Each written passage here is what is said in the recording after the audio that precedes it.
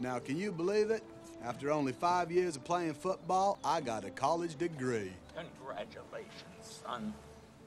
Mama was so proud. Forrest, I'm so proud of you. Here, I'll hold this for you. Congratulations, son. Have you given any thought to your future? Thought?